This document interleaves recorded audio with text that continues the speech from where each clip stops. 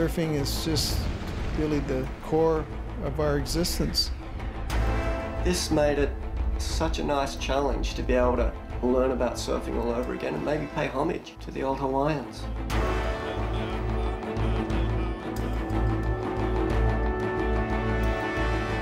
Everyone who walks on our beach, everyone who swims in our ocean becomes part of our family.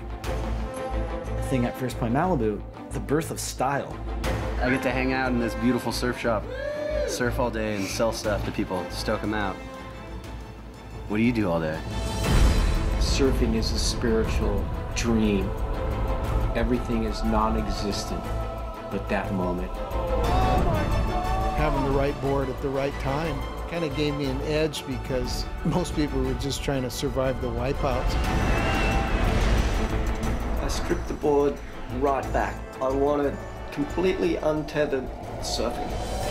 It's like finding a soulmate because you're a part of that wave. We know we're in the middle of nowhere and we know we're so far from everything.